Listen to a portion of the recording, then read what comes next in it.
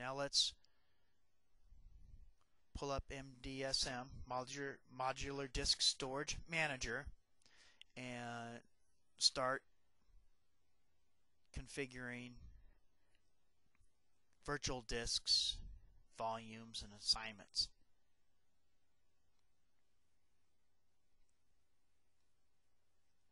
So here's our uh, summary screen, little wizard comes up, but uh, first thing that we want to do is say, okay, who is has access to storage on this MD3000i? So we'll configure host access. And we'll just name our particular host and what kind of OS it is. The MD3000i says this is who I see and uh, um, this first one is, is the host that uh, we're at the desktop with. You can see at the tail end here of the IQN that that is our host name. So let's allow access.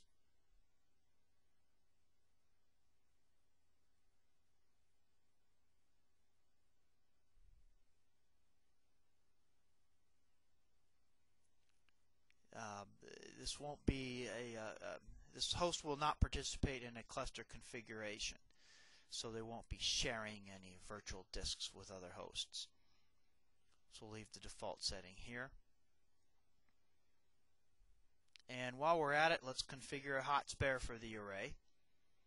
Um, so in the event of a disk failure, we can have a rebuild um, take place with a, with one of the defined hot spares. And this this is where we define a hot spare. I can choose any one of the 15 drives in the enclosure here and assign it as a hot spare. And we're done there.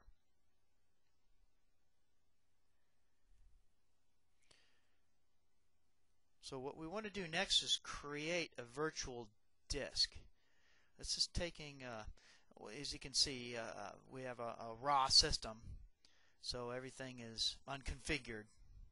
Um, but a, a, virtual disk is basically taking one or more um, hard drives, as you can see here, and uh, creating a relationship between them. So if you're looking for a volume with large capacities, you're going to need to create a virtual disk that has many, many uh, spindles in them. And as you can see, it's very easy to assign that. So more spindles, higher capacity and performance. I'm kind of thinking of RAID RAID 5, so I'll add another disk in here. So I could, you know, two drive RAID 5 doesn't, it won't allow me to do that. So let's add another third disk here for RAID 5 capabilities. So RAID 5 with the hot spare, we got some pretty good disk protection going on. And uh, let's calculate the capacity um, here. And uh, now what I'll say is do that all at capacity. I want to create a volume here, and I can create a, you know, carve up that virtual disk space and and and uh, and, and, and you know 70 megabytes is is what we want with the performance of those three drives. Let's name it, and now let's assign this volume to a host, and we've configured this host to have access just uh, a little bit earlier in the demonstration. So we can highlight that guy. And uh, we'll assign a logical unit number. I, I don't like to use 0 because that's typically a boot disk. I usually like to go 1 or higher for just a traditional virtual disk. And uh, eh, no, let's don't create another one. So we've are done at the modular disk storage administrator now. You just hook in um, into the that disk into the host's file system, and you can see this is Windows. Okay, so using traditional, just regular NICs, I'm going to launch the iSCSI initiator that allows us to grab iSCSI storage, and the wizard um, that we ran through earlier, configuring um, for the host, um, enters all of our uh, target portals to the MD3000i already. So we can get to our storage to those four ports.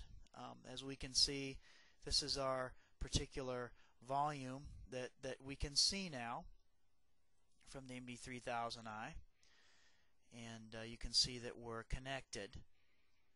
So this host at this moment thinks it has direct attached storage. So configuring this disk here um, for Windows is nothing different. You follow the same steps as you would for direct attached storage, but it happens to come from the MD3000i SAN.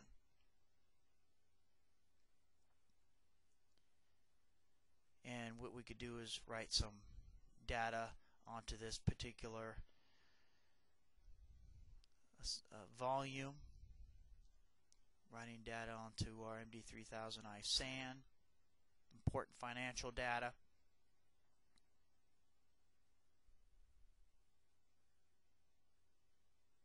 Well, let's save data to the SAN and uh,